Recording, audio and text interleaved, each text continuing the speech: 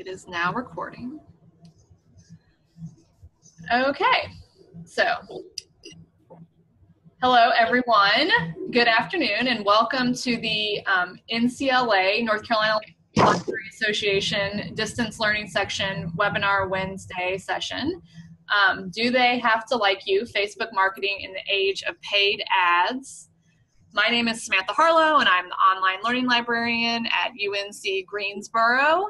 And I'm also the co chair of the distance learning section. Um, without further ado, I'm going to introduce today's speakers. It's Elizabeth Marcus and Jill Ellern from, under, from as the undergraduate experience librarian and the systems librarian at Western Carolina University. So you guys can begin now. Hi, thank you so much and welcome to our webinar, um, Do They Have to Like You? Facebook Marketing in the Age of Paid Ads. So before we get started, we want to thank the um, NCLA Distance Learning section for allowing us to be part of this webinar series. Um, we actually presented a poster on this topic um, at the NCLA conference in October, and um, we had so much information that we wanted to share that it was really hard to get it all into a poster. So we're really glad that they let us be, be part of this webinar series. Um, so samantha said i am um, elizabeth marcus i'm the undergraduate experience librarian at hunter library i'm also chair of the library's marketing committee which is how i became involved um, with uh, facebook marketing for the library and my name is Jill Ellern, and I'm the systems librarian here at Western. And I get involved because uh, uh, I was one of the posters and, and on as an uh, adjunct person on the marketing. That's about it. So we have. I think what I'm good at. Yesterday I was watching. We have quite a few things that we want to talk about today, so I'll kind of give you an overview of um, some of the items that we're going to discuss. Ooh, so we're going to um, kind of explain our interests in this topic. Um, so Jill and I kind of discussed this when we were both administrators um, for the library's. Facebook page um, as a potential research topic. And um, we actually had, um, we'd actually um, kind of talked about, you know, even though Facebook is not a hot topic in libraries anymore, it's still important in as a marketing tool for libraries. Um, so we'll discuss that. We'll talk about um, our interest in, in what other North Carolina libraries were doing. And um, we're also going to uh, kind of review some of the data that we collected about um, Facebook pages of libraries in North Carolina. Um, we're going to navigate um, or kind of talk about some of the changes that's happened with Facebook since 2004 when it first began and, and how that has affected Facebook marketing for us. We'll talk about um, some of the or, what organic reach is and how that has affected um, marketing over time, particularly the decline of organic reach. And we're going to share some tips on how to improve um, your page or personal Facebook page as far as the library goes and posts, and engage in some um, as far as outreach through uh, Facebook, the network in general. And last but not least, the question that we all have um, how do we find the time for Facebook marketing and how do we stay up to date on, on all the changes that are going on with Facebook? So we'll talk about that at the very end.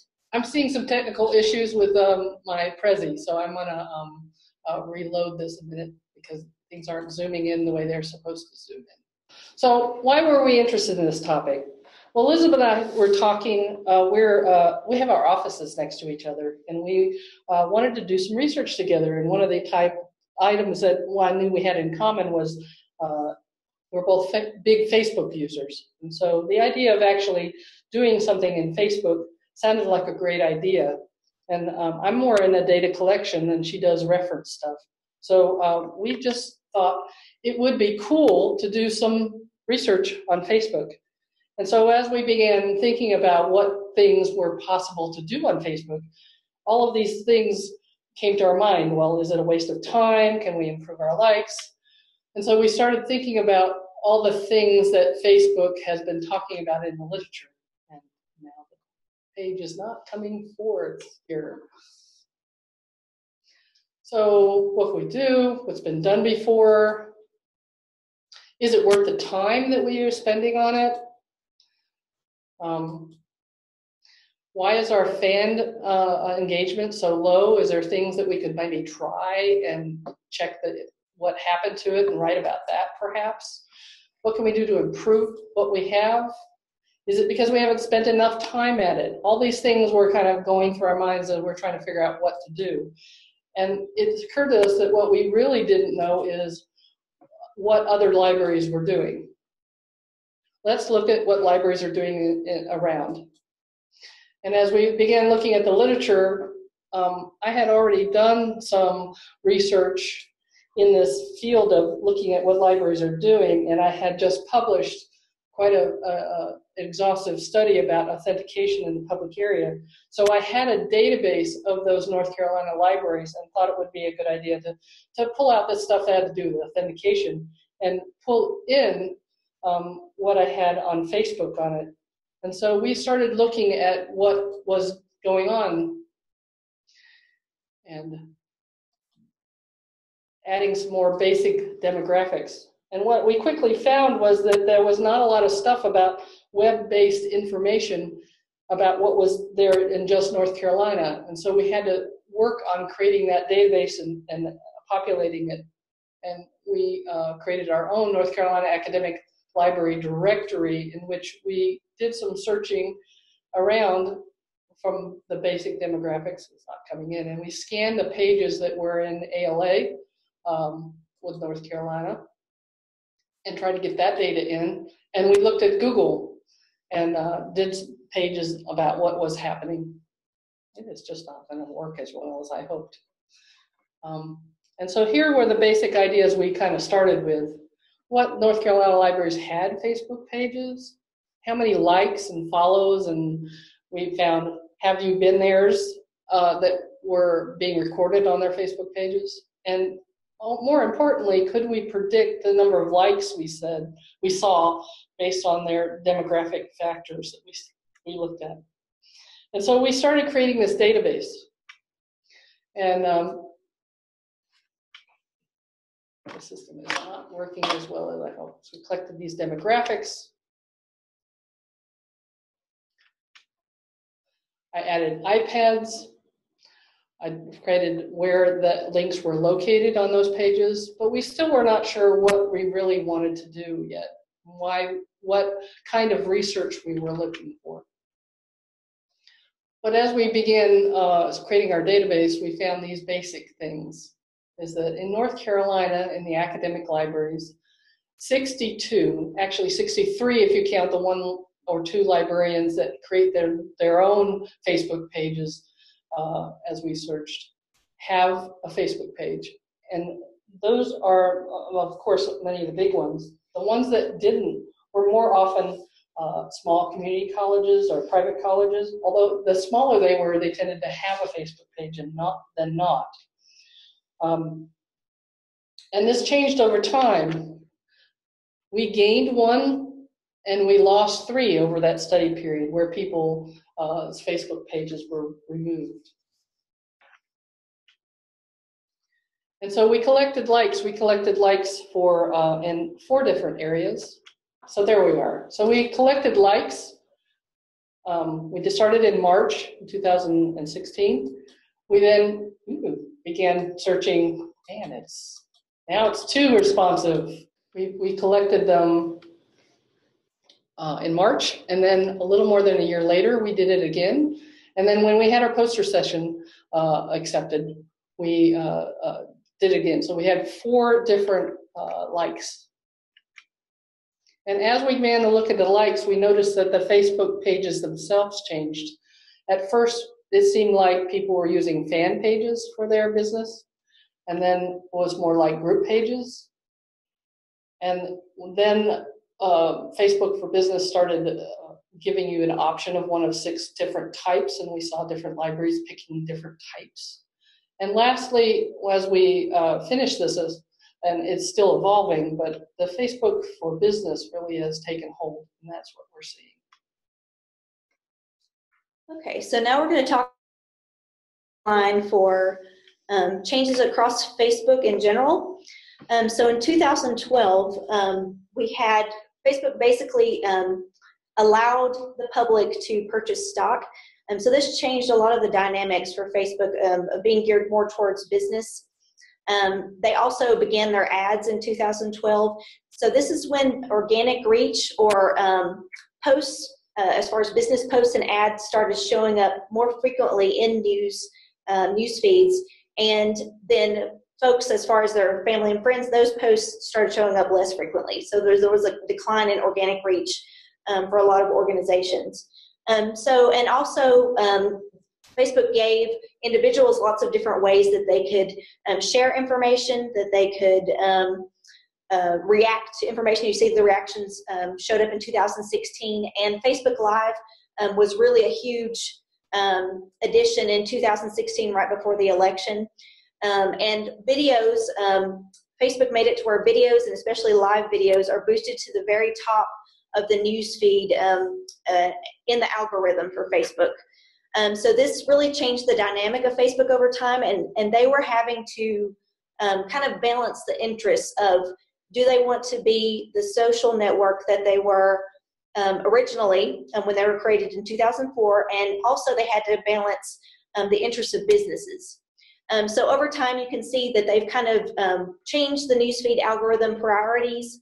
Um, and currently, actually in January, they just started making it to where your newsfeed priority is primarily for individuals, for family, friends, and local news. Um, so this is constantly changing, and we're having to keep up with that um, as we uh, market for libraries using Facebook. So it's it's an ongoing um, ongoing thing, all ongoing changes. So um, because of this and because of overall, um, there are actually over 2 billion users um, monthly of Facebook, um, the organic reach has plummeted over time. So at this point, um, only about 2 to 3% of your audience will actually see the posts um, or items that you post. So for us, we have about a thousand users. So that would be, uh, or a thousand fans. So that would be about 20 to 30 people that would actually see our posts out of all of the folks that actually like us that's a little bit discouraging for um, for people who want to market through Facebook um, at no cost. And um, this will increase increasingly be a problem as organic reach um, decreases. So the official definition of organic reach, according to Facebook, is how many people that you can reach for free on Facebook by posting to your page. So obviously this is really important to us um, for libraries that, you know, maybe don't have, they don't have a very large marketing budget or no budget at all. Um, so um, because of the changes that have happened in the algorithm and um, what's happened with, you know, the number of users and the number of posts overall, that's why that the organic reach has, has decreased over time um, and affected the newsfeed algorithm. So what happened as we looked at our data? So um, I'm going to show you uh, a little bit about that data. I've uh, created a link here. It's on the pages. Um, hopefully this will link correctly. Can you see that? I hope you can see that. We're sharing our page. Um, I've posted this on my uh, uh Google Drive page, but I've also put it up on the Dataverse and the links that are there so you can look at your own um, uh, libraries for those North Carolina folks. As you look, uh, I've, I've gotten various uh, uh, screens here. The first one I want to talk about is likes. I've sorted this by the number of total likes over our course of the two, almost two years that we've done this study. And you'll see, uh, not surprisingly, the highest likes are often the biggest libraries of the top 10. Uh, it's no surprise that NC State and and that type of thing are, are here. But what is very interesting is that some, some of the smaller schools, um, uh, like Western Carolina University or Asheville, which are are eight and, and below in the just number of uh, students, are actually getting a lot more likes than uh, others. This is a list of the 61 of of those libraries. You can look at the four intervals in which we've done it. And when you look at this uh, by weighted, it clearly, this doesn't tell us much. This is not surprising. But when you look at it by a percentage increase, and that's what this next screen is, the number of libraries changes, it's clearly that, that, that these libraries are doing something that increase their likes that is totally different from just strict numbers. They're doing something that increased. The University of Mount Olive, for instance, has gotten a 70% increase in the number of, of likes they've had over this our study period. And some of these mid-level ones have increased their likes as well. Um, what did they do to make this happen? Was one of the questions we had early on. And so we started looking at some other information, like where their links were, and you can check this data, uh, where their library, uh, uh, library's homepage is, whether that uh, Facebook link is on the homepage or the college page. We have a lot of data on this. We haven't crunched all of it, but where the library is itself, does that have a relationship on how many links it has? And so what I thought maybe is there something else is going on. Perhaps that's the type of post they have or the number of times they posted. And so I started looking at seeing if I could just, by brute force, copy those links, the last five, and say what they had, what, what information do they have going on here. Um, is it the reaction? Is it what's going on? Until I finally, uh, this brute force uh, method was just too much. And so I found a piece of software that I would recommend you look at. It's called Likealyzer. And um, in October, before we did our uh, poster session, I ran all of our libraries that we were tracking through Likealyzer. And it allows you to see the number, the percentage of text posts they have, photo posts, and videos. It gives you an idea of the posts per day and the length of posts and that type of thing. And I've sorted this by the number of interactions. That's how many people actually interacted with the page. And you can see that this is, again, a totally different one. What is uh, uh, Belmont Abbey College doing that they had 63 um, uh, interactions? And when you look at this, you'll notice that many of them are videos. Um, they actually have videos attached. So we can get a little better idea. And then I did it again uh, just before this presentation. And Likealyzer now only does seven days. And we have another one. Chapel Hill, for instance, which had an increase in likes of only 3% over this time period, um, has had 69 interactions over the last seven days. And so you get an idea of what they're doing and give, gives you some more ideas of the um, what is working and what might be working. And we had a little bit of um, uh, folks as we did our poster session that had campaigns linked to other pages, that kind of thing, which which uh, Elizabeth is going to talk a little bit more about today. So that's the data, and you can look at it at your leisure.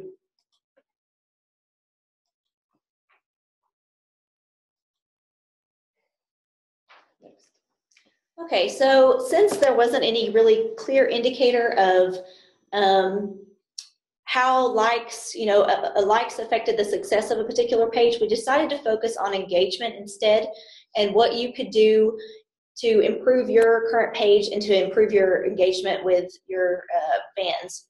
So we kind of took, took a look at, at the literature and as far as literature of uh, Facebook marketing for libraries, most of it ha- least around 2014.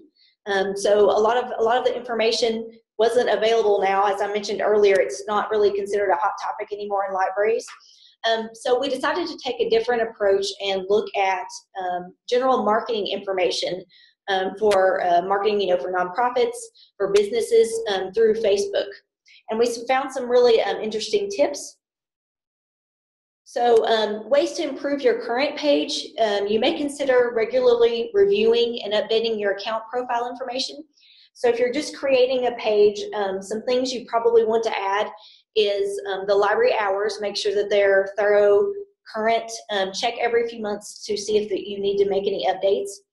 Um, you can also add inf contact information, make sure you include phone number, um, website, any other options they give you for contact information, fill those fields in. Um, you can add information about other social media pages that you have, links to your Twitter and Instagram pages. Um, and last but not least, there's actually a way that you can uh, select categories uh, that you want your page to be included in. So some of the main categories um, that we have selected, um, one of them is library, which of course makes sure makes perfect sense.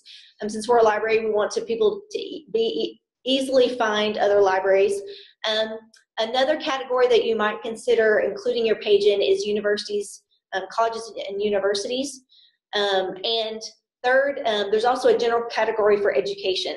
So you can um, include those those categories, and I believe these categories basically function like hashtags. So whenever um, someone is interested in a particular, maybe a particular hobby, a particular subject, um, whenever they're when Facebook will suggest certain pages to them, it's more likely if you include these categories that um, they will be um, be included in their suggested pages to like. Um, so this is kind of one way to get a little bit more visibility. Um, so make sure that you, when you're creating a profile or updating, look to see what categories you can add and include your page um, in.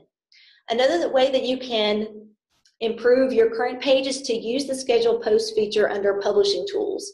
And if you go to your administrator page, it's at the very top um, next to insights. So you can actually schedule posts out um, weeks at a time. So this is um, kind of a picture, a screenshot to share some of the posts that I have um, scheduled ahead lately.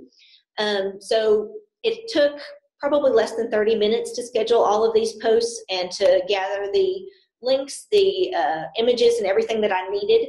Um, and the great thing about scheduling ahead of time is you can schedule a post to appear after hours. So you'll see a couple of the posts that we have were scheduled for 5:30 after most of us most of us have left left the building, and this is really great for you know catching folks after work um, or students you know after classes. So you can be kind of strategic in how you schedule these posts, and it saves you a lot of time in the long run.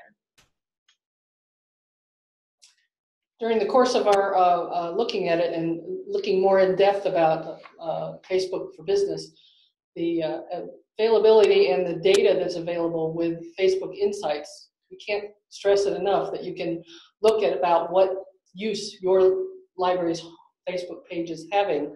And we wanted to show you a few because most people probably don't, don't uh, um, look at this very much. There's an overall performance that gives you a quick snapshot of how your page is doing. It's uh, right under insights and then the overview. It gives you an image of uh, various uh, pictures to give you a quick snapshot of that. The next is the organic, the reach, including organic reach, and you'll see, because we don't pay for it, you'll see that the paid reach will be a different color, but you can get a good indication of how good your organic reach is doing for each of the, the time period and for uh, pages that you might post. More importantly here is that when are your followers looking at your page? I call this the whale. This image is pretty much the same regardless of the pages I've looked at. And that says that somewhere before nine o'clock, your users are reading Facebook. And because posts degrade over time, the newest ones show first in the um, news algorithm, it behooves you to uh, schedule those ones in this nice period before nine o'clock when they see it. When your post is new, your organic reach will um, be further if you uh, schedule those appointments. The next is just looking at who's engaged. If you ever do pay for it, uh, an ad, it's good to know who your target audience is and who's reading you. Sometimes you wonder who's actually reading your posts, and this will give you a good indication of who they are and some basic demographics, which is kind of heartening as you're you're thinking no one's listening to you. And then um, which posts are working, and gives you an idea of the page views. And if you post videos, it'll tell you how much it gets used and how many times it gets read, that kind of thing. So that is very helpful to see and uh, um, gives you feedback on whether you're doing things well. Okay, so um, in looking at the, the, literature, we also found some general guidelines for Facebook posts, and um, we've tried to use some of these over time, some of these general guidelines. Um, so probably the most important thing that you want to consider when you are looking at um, or planning to post on Facebook is to create authentic, snackable content. And we put snackable in bold um, because that is that is the key. So snackable basically constitute a post that is short, so not a lot of text. That includes lots of um, visual interaction, so it could be a picture, it could be a short video, but it needs to be something that folks can consume in just a few seconds. And um, you don't have to be very formal about it. Um, this is kind of something that we struggled with over time and trying to figure out um, the types of posts that we wanted to have. And in the beginning, or we have a lot of, uh, quite a few administrators in the library here that share uh, administrative duties. And a lot of people tried different types of posts and there were some that were, were a little more fun, you know, um, quotes and things like that. And we got the most likes for those types of posts. So, um, so you know, have a little bit of fun. You don't have to be so formal um, in your posts. Be authentic. Um, so you can, you know, ask folks, you know, if something didn't work as far as a, um, you know, an event, ask folks for feedback on that. And most people are more than happy to share their opinion. So um, it's just important to be authentic. Um, as I mentioned before, you know, ask open-ended questions and encourage feedback. And you can do that in asking for suggestions about particular events or um, services. Um, whenever we looked at the um, kind of the suggestions for how to po- how often to post and when to post, the suggestions were kind of all over the board.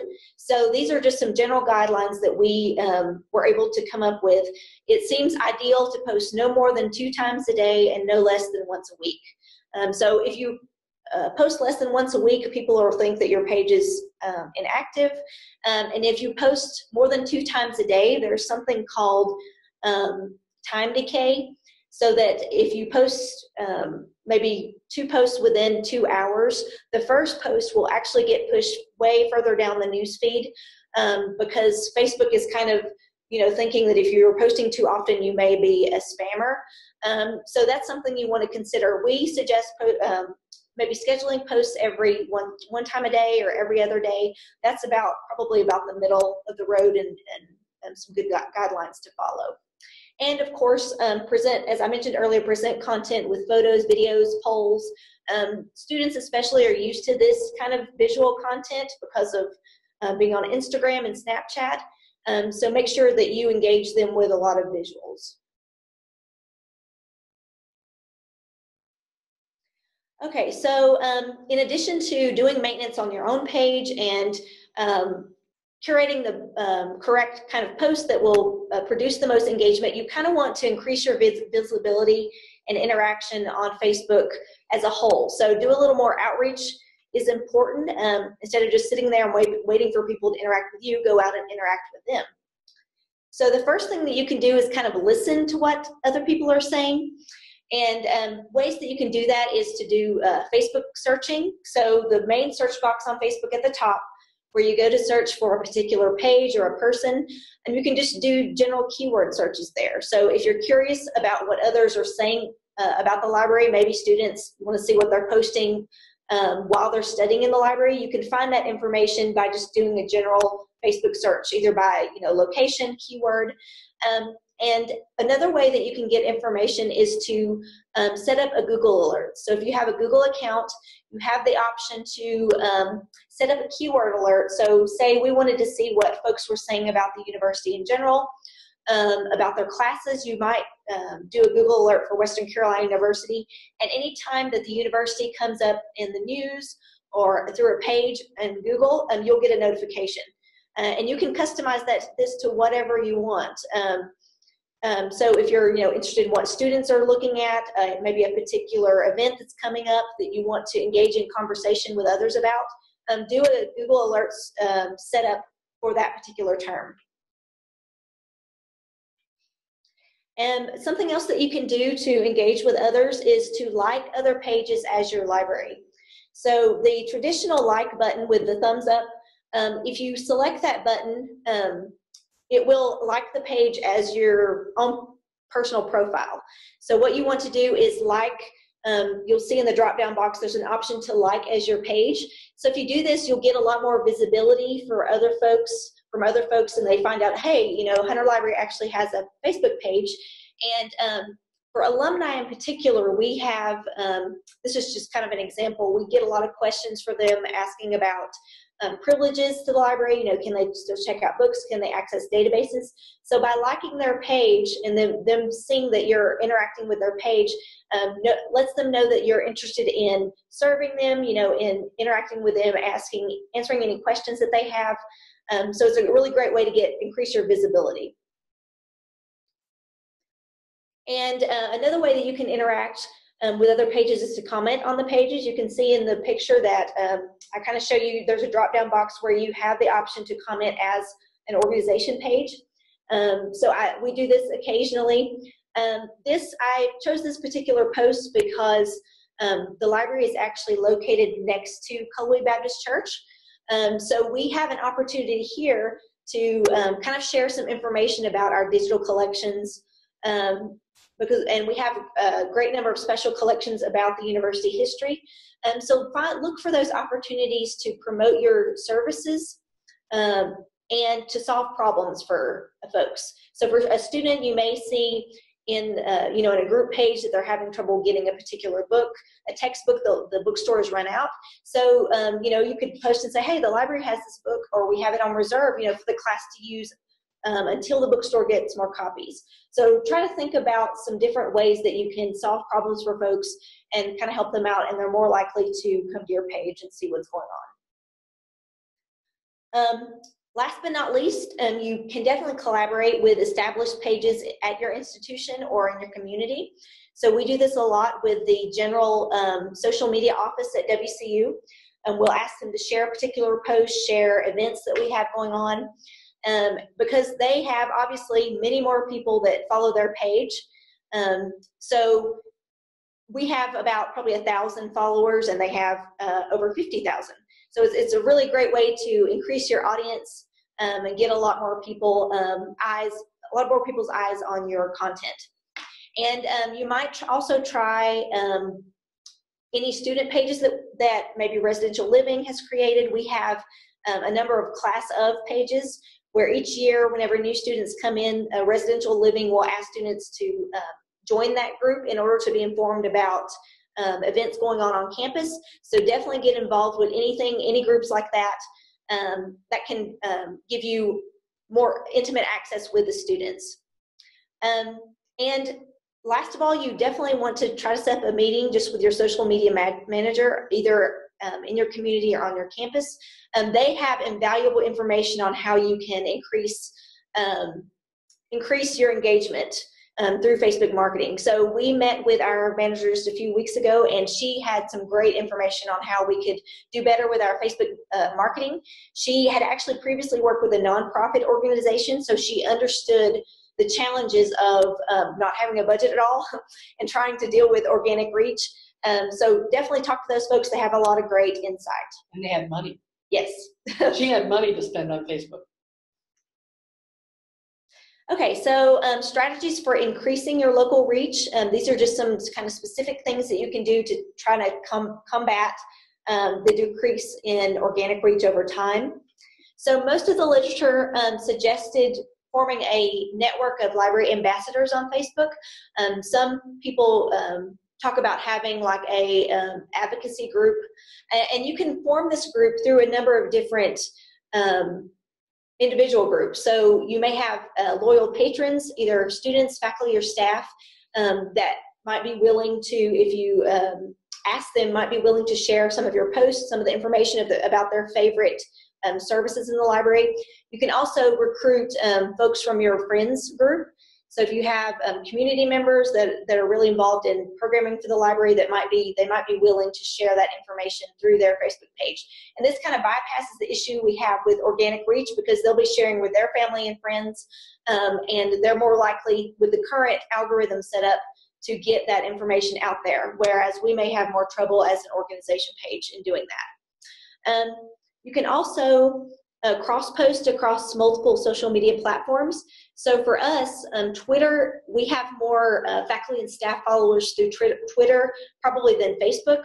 Um, so if you cross post there, you can kind of get all of the different um, patron groups that you need to reach So, and our Instagram, we also have an Instagram page that is involved with our um, general orientation of the library when students get here in their first year.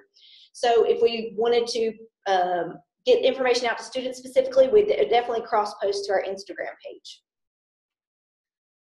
Um, you can also create a Facebook group connected to your page. You might be able to, some of the ambassadors um, could be directly connected to that group.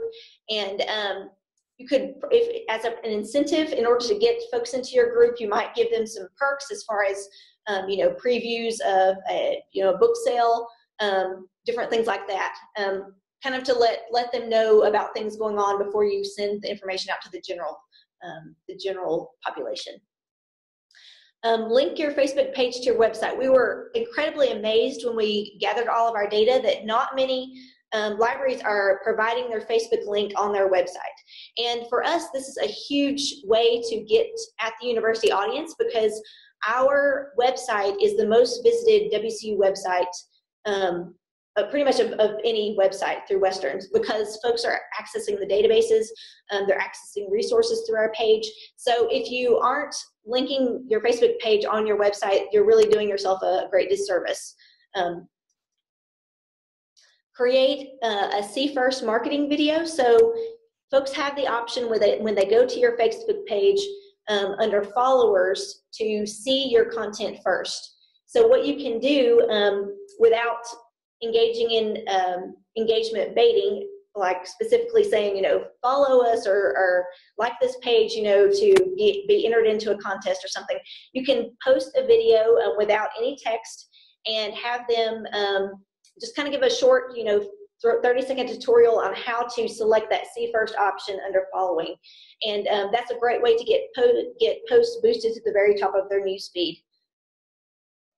And the last resort, um, if you're not having any luck with these options or you don't have the time to do all these things, you can, can consider paying for ads or post boosts. So um, luckily, the boosts are very inexpensive. Most of them average around, around $5. And you get, reach out to thousands of people within your immediate area. You can set um, the audience that you want depending on different demographic items. Um, so that's a really a great way to um, to get engaged more without um, having a, a large amount of money set aside for marketing. Okay, so um, the main question that we all have, uh, I know we, even we, you know, this is all great information, but we're asking how um, can we find time or the help um, to be able to do all this great stuff. So we have just kind of a few tips on how that you can um, find time to actually do all of this Facebook marketing. Um, we suggest setting aside one hour per week for Facebook. Um, so you can, and you can do this in smaller increments. So maybe 15 minutes at the desk when it's slower on a Friday afternoon. Um, you could um, kind of pre-schedule your posts for the next two or three weeks. And maybe the next week you would want to actually do that listening exercise that I talked about and see what others are saying about um, kind of about about your library and about your university. Um, and you can also solicit help um, from your marketing team at, at, your university or college. So um, our our particular office, they manage the Facebook page, the General Western Facebook page, as well as um, the page for alumni, and they want to manage the page for admissions. So they might be perfectly open to, if you don't have time to manage the page, taking that over, and you can provide the content, and they would um, kind of manage and host um, the information and uh, help answer any questions you know that folks have. You can also recruit um, student workers, volunteers, or interns.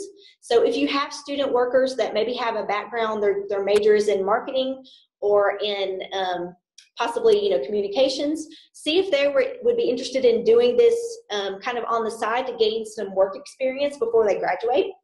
Um, and if you don't have any students that would have that background. You can also um, reach out to departments on campus and see if maybe the business school has um, folks who are interested in um, doing an unpaid internship. Um, and of course, I mean, if you don't want to give free reign to these people, you can review the content, just um, kind of have them help in posting it and in gathering the information. And you can still uh, kind of uh, manage the quality of the of the posts. So um, we had mentioned earlier about all of the different changes of Facebook over time. So there, it's it's difficult sometimes to um, keep up with the changes until you actually notice it in your own newsfeed. So there are several ways that you can keep up um, with trends with uh, on Facebook. One is to follow technology pages, and these are just a few of the ones that we suggest. Um, social media today is really great because they have a newsletter that you can subscribe to. Um, and it follows, uh, keeps up with paid, uh, information about all social media platforms, but you can pull out um, the Facebook posts and find out, you know, what's going on with Facebook, tips on how to um, better engage your audience. You can also follow the, the general Facebook news pages, and this is actually how we gathered a lot of our information for the Facebook timeline that we created for this presentation. Um, so they're constantly putting out posts about um, changes in the algorithm, changes in different features on Facebook, um, and just kind of they talk in general about what some of the feedback that they're getting from users. And even if you're not paying for um, ads, you can look at the business page as well, and they have a lot of great tips on how to um, market through Facebook. Okay, so some of the key takeaways um, that we wanted to highlight for today because I know we covered a lot of information. Um, so it may have been kind of overwhelming, but um, probably the main, one of the main key takeaways is to be strategic. Um, if you are going to use Facebook as a, uh, a means of marketing for free, you have to be strategic in how you um, schedule posts consistently, how you reach out to your audience, and you, I mean, you just have to take that time um, to do these things in order to make your uh, Facebook page are optimal for marketing. The next is the, the data shows that likes don't equal engagement. And what we really want is engagement. We want to have our posts being shown to the wider community. And so you have to engage in those other things and don't take the number of likes you have as a, a, an indication that you're doing well. Next is to consider paid ad and boost posts. Remember that a post that's doing well is one that needs to be boosted, not one that um, is not doing well. Uh, you want one that is already engaging, and when you see one doing that, um, see if you can't spend some money on it or spend some quality time with your campus wide to see if you can boost that post. And last, um, Flexibility is definitely important. Um, as I said earlier, um, Facebook is constantly changing. So you need to be um, nimble and prepared to change your strategy um, whenever you're doing marketing. Um, stay up to date, um, either through you know the Facebook newsroom or through social media marketing pages. it's really important if you want your your Facebook marketing to be successful. It's really important to stay flexible. Okay, so thank you so much for attending um, our webinar. And if you have any questions, feel free to contact us at the information below.